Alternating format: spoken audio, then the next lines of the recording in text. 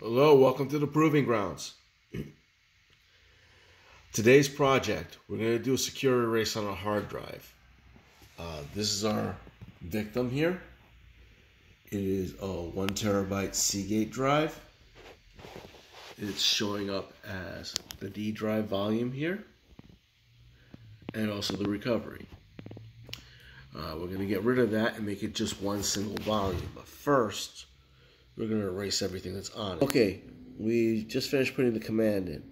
We're going to format the D drive. Erase, we're going to use a file system of exFAT, and we're going to do two passes. Enter current volume label for drive D.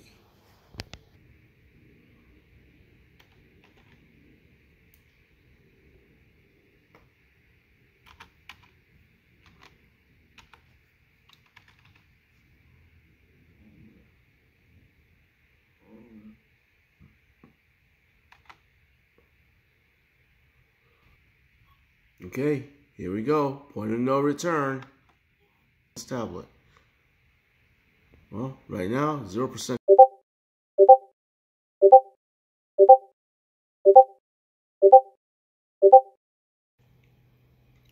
Well, it looks like we're done. And there we go. And there is the serial. So that's it.